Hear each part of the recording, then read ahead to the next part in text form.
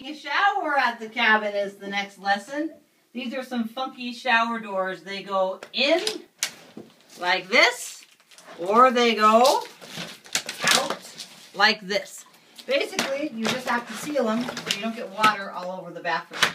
They also slide sideways. So I'm going to open them out and in to show you how the shower mechanism works. So here's the dial. This is where you control the water itself. So you go whoop, up counterclockwise. I will not turn it on so as not to soak us.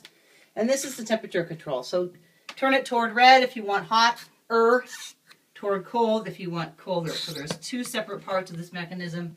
This is for the water on. This is to control the temperature. This is a removable shower head.